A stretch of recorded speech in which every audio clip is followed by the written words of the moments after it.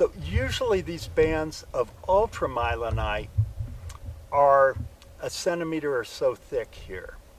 In one case, in this case, we see one that has um, been subsequently pinched out and as it continued to mylonitize, as the rocks continued to shear, it spun into this beautiful spiral shape called a delta, um, delta porphyroblast, porphyroclast, I'm sorry.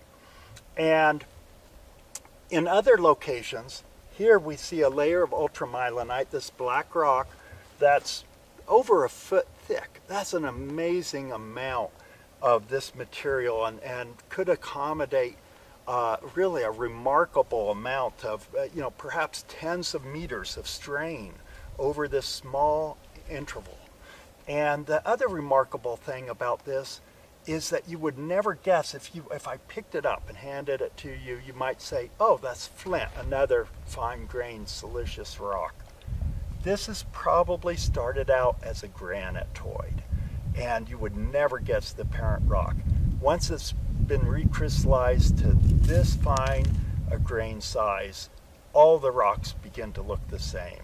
And so it's really only by geochemical analysis that we could tell what the original rock laws.